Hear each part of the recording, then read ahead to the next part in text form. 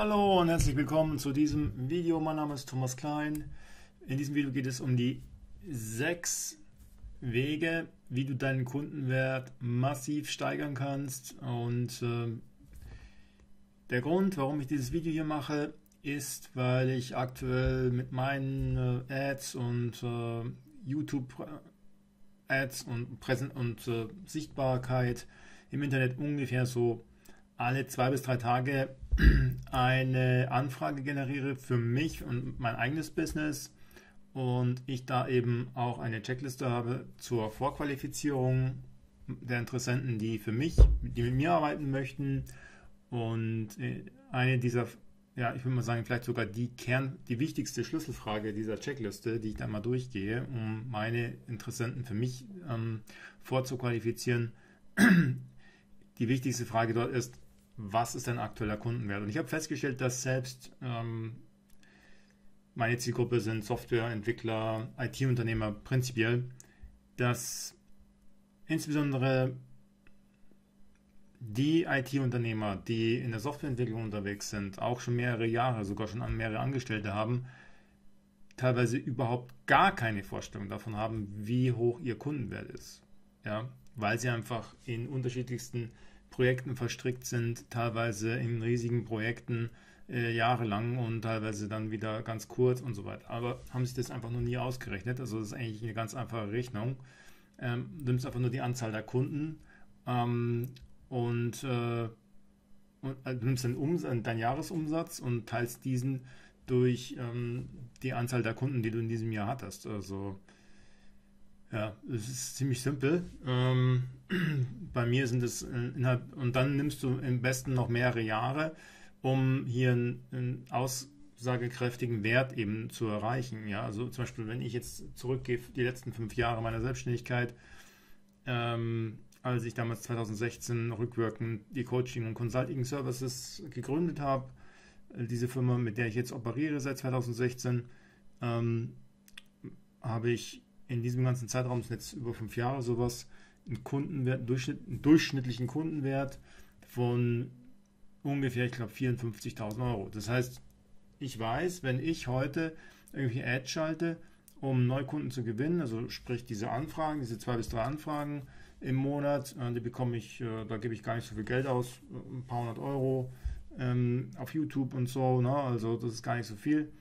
Ähm, natürlich habe ich auch viel ähm, organischen Content über die Jahre gepostet und da kommt natürlich auch was bei rum.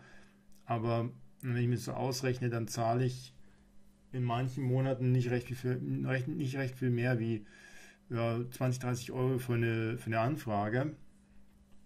Und wenn ich dann dahingehend sage, okay, wenn ich dann mal einen Kunden gewonnen habe, dann habe ich da auf fünf Jahre gerechnet, einen durchschnittlichen Kundenwert also den, den, den, den, den ja, berühmten Customer Lifetime Value, hier habe ich es nochmal, CLV, von 54.000. Also letztendlich könnte ich auch äh, gut und gerne 1000 Euro für Werbung ausgeben, ja, ohne mit der Wimper zu zucken. Und das ist eben die Rückversicherung, wenn du diesen Wert hast über einen sehr langen Zeitraum, der letztendlich auch aussagekräftig ist, dann kannst du einfach dein komplettes Marketing und Vertrieb im ähm, rückwärts äh, kalkulieren und ja, hast dann einfach auch keine Bauchschmerzen, ähm, hier entsprechend eben zu investieren, wenn du eben die Entscheidung fällen solltest, äh, zu skalieren oder halt äh, zu wachsen oder auch etwas stärker zu wachsen, als du es vielleicht in der Vergangenheit getan hast. Ja?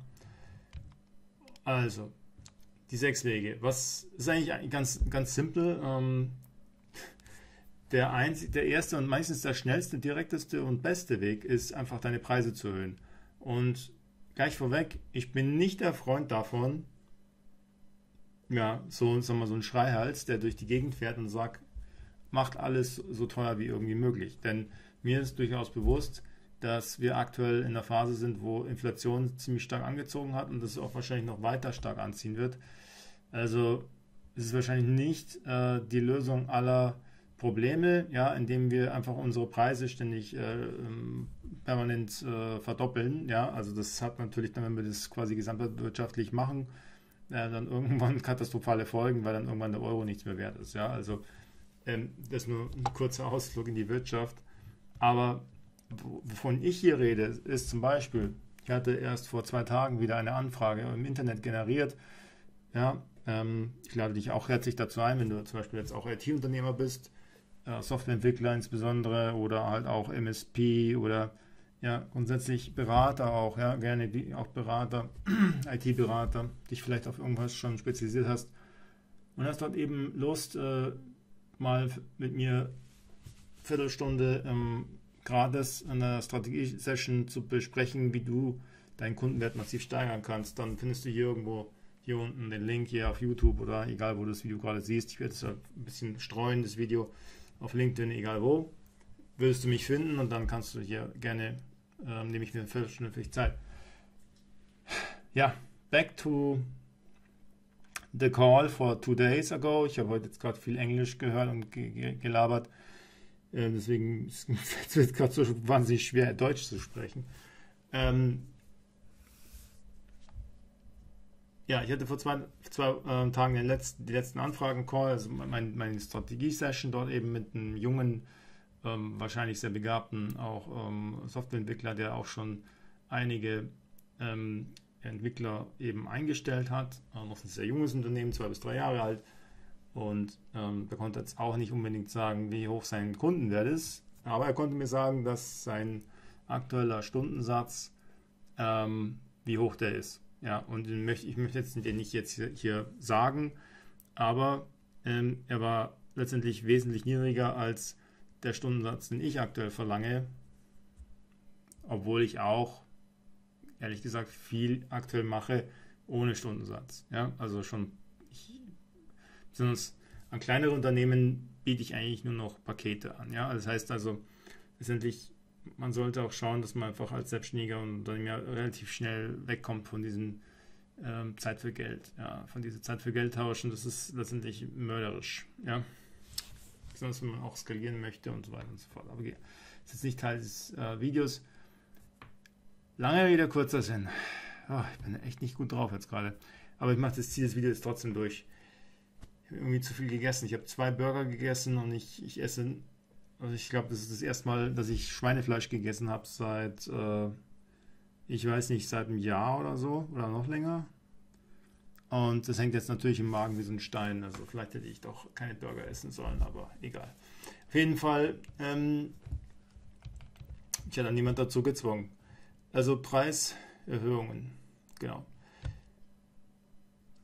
Lange Rede, kurzer Sinn, der, die, der Softwareentwickler war halt einfach, äh, ich glaube, dreifacher Subunternehmer und äh, letztendlich jeder skimmt sich halt dann ein, äh, ein, paar Euro ab und am Ende verdienst du halt weniger wie, ja, äh, sagen wir mal, ähm, du dir eigentlich zustehen würde für die Leistung, die du eben bietest, weil du quasi deine Dienstleistung als Softwareentwickler viermal weiterverkauft wurde, ja. Und ähm, das ist halt einfach ganz, eine ganz simple äh, Rechnung, dass du sagst, okay, den Stundensatz, den der hatte, ähm, war wirklich recht niedrig, also sehr niedrig, verdoppelt ihn einfach mal und such dir einfach direkt Kunden.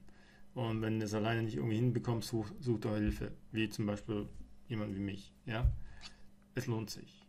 Ja, ähm, weil wenn du jetzt mal sieben Angestellte hast und du gibst mir, äh, selbst, sag mal, wir arbeiten, wir arbeiten zusammen für einen Monat, du gibst mir 10.000 Euro bei sieben Angestellten, wenn du Aufträge bekommst, wo du für jeden dieser sieben Angestellte doppelt so viel abrechnen kannst, dann hast du diese 10.000 Euro selbst als kleiner Software-Startup innerhalb von ja, zwei Monaten wieder zurück. Ja, also von daher ähm,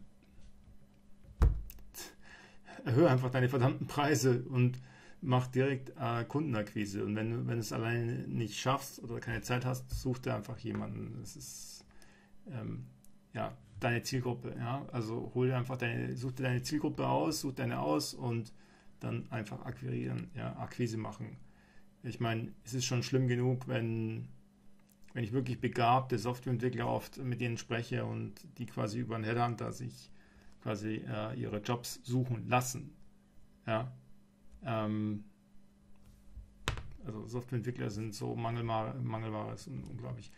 Ähm, solltest du eigentlich äh, selber welche äh, Aufträge finden. Aber gut. Ähm, Herstellerkosten verringern ist ganz einfach. Wenn du zum Beispiel größer bist, Nearshoring machen viele große Firmen, ähm, kann sehr gut funktionieren. Ja? Also insbesondere wenn du halt talentierte Full-Stack-Entwickler hast oder ähnliches. Erhöhung des Ratio, je verkaufte Einheit. Ich habe es gerade schon gesagt, Full-Stack-Entwickler, wenn du Aufträge hast, das ist ein absoluter Geheimtipp. Ähm, wenn du es nicht schon auf dem Radar hast, ähm, dann, ähm, wenn du Fullstack-Entwickler hast zum Beispiel, dann kannst du einfach einen denselben Programmierer, musst nur einmal briefen, der macht aber, füllt zwei oder drei Rollen gleichzeitig aus. Ne? Also der kann das Frontend programmieren, gleichzeitig das Backend. Du musst nicht jedes Mal wieder neu kommunizieren, wieder jemanden neu einlernen ins Projekt und so weiter. Also es ist ähm, sehr gutes Geschäft. Ja. Dann häufiger zahlende Kunden, einfach schauen, dass du irgendwelche Retainer-Modelle da reinbekommst, irgendwelche ja, Abo-Modelle oder irgendwas halt, wo du quasi deine Kunden langfristiger hältst. Ähm, dadurch erhöhst du wieder dein Lifetime-Value, dadurch hast du wieder mehr Geld für Werbung und dadurch hast du eben insgesamt wieder skalieren und wachsen. Ja? Also es ist einfach ein Kreislauf. Dann Wartungsgebühren oder ähnliche Modelle. Ne? Also wir haben zum Beispiel bei MSPs, die leben geradezu davon. Ja? Also die haben einfach einmal einen Kunden gewonnen, ja, und dann haben die den fünf, sieben Jahre teilweise im Durchschnitt. Ähm, also so ein Kunde, der vielleicht nur ein paar tausend Euro im Monat zahlt, ist aber insgesamt 150.000 Euro wert. Also ähm, ja, brauchen wir nichts mehr dazu sagen. Ne? Ähm, Upsell, ähm, mehr vom Gleichen. Ja? Ähm, haben wir gerade schon ein bisschen drüber gesprochen. Cross-Sell ist quasi wie ein Add-on. Ja? Und dann haben wir noch Downsell. Ähm, das ist letztendlich die abgespeckte Version des Kernangebots, sogenannte äh, Corn-Off, also quasi dein Kernangebot und dann eben massiver Rabatt einfach für Leute, die sich aktuelles Kernangebot nicht leisten können. Ganz wichtig hier zu verstehen, immer erst den Downsell kommunizieren, wenn absolut das Core-Offer, also dein Kernangebot, bereits abgelehnt wurde zu 100 Prozent. Ansonsten verwässerst du deine Performance, äh, was das Core-Offer, also das Kernangebot betrifft. Ich gebe grundsätzlich nur runter, und das hatte ich erst letztens wieder, ähm, wenn wirklich, also definitiv mir gesagt wird, dieser Preis oder dieser, dieses Paket ist mir zu teuer, das kann ich nicht stemmen, auf gar keinen Fall. Und ist kurz davor, den Hörer aufzulegen sozusagen oder den Call abzubrechen, dann sage ich, okay, Moment, ähm, hier gibt es noch den Downsell. Ja? Also ich nenne es nicht Downsell, aber hier gibt eine abgespeckte Version. Und ähm, es hat den ganz großen Vorteil, dass du letztendlich den Kunden trotzdem behältst. Äh, zwar für wesentlich weniger Geld in der Regel, 20, 30 Prozent weniger ist dann meistens der Downsell. Aber du kannst mit dem Geld sozusagen wenigstens deine Akquisekosten, weil du hast ja quasi den Interessenten irgendwie äh, durch Zeit und Geld äh, Werbung halt auch einkaufen müssen dass quasi die Akquisekosten wieder erinnern, meistens etwas mehr sogar. Und du hast einen Kunden gewonnen. Und die, jeder gewonnene Kunden, Kunde ist eine, mit einer höheren Wahrscheinlichkeit äh, verbunden, dass er irgendwann vielleicht doch nochmal dein Kernangebot quasi so als von Down to Upsell wiederum doch kauft. Ja, viel höher, als wenn du ihn einfach gehen lässt, weil du kein Downsell hast, äh, also keine abgespeckte Version deines Kernangebots, dann hat er eben nichts bei dir gekauft und ist weg und kommt mit einer höheren Wahrscheinlichkeit nicht mehr wieder, als wenn du ihn irgendwas Kleineres verkaufst. Ja. Ähm, ist letztendlich ein nachgeschobener Tripwire, falls dir so ungefähr, ja, also Tripwire ist quasi so ein Stolperdrahtangebot, äh, um quasi ähm, ja, für wenig Geld jemanden als Kunden zu gewinnen. Erstmal, um Werbekosten teilweise zu bezahlen und einfach auch den Kunden als solches psychologisch einfach als Kunden gewonnen zu haben, dass du sozusagen die Person, mit der du sprichst bereits, die Interessent, ein, als Interessent ist, dann dein Kunde ist.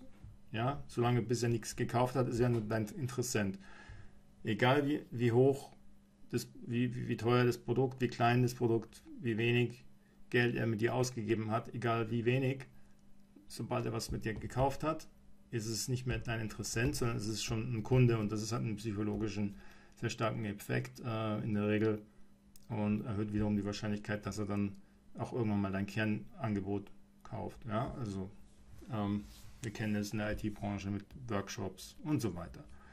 Okay, das soll es gewesen sein für dieses Video. Du findest hier unten irgendwo den Link, wenn du Lust hast auf ein Strategie-Session und dann, ich kann schon gar nicht mehr sprechen, sehen wir uns im nächsten Video. Dein Thomas Klein. Bye bye.